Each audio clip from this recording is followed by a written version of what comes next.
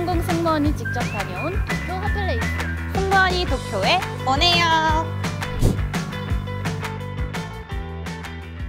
여러분, 저는 마리카를 타러 시부야에 왔습니다. 이게 제가 가장 해보고 싶었던 거여서 빨리 가볼게요. 이 마리카는 카트를 타고 도쿄를 둘러볼 수 있는 activity예요. 타고 싶어요?